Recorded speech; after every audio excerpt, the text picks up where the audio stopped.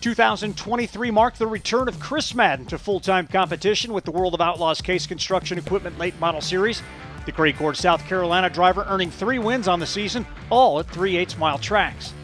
Smokey earned his first two victories on Memorial Day weekend when the series visited Sharon Speedway, including the Battle at the Border finale to finish out the three night event.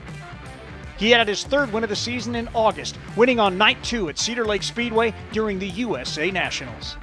Madden ended the year with 20 top fives, 31 top tens, finishing the season on a consistent note after switching to a Longhorn chassis before the series stopped at Davenport in August.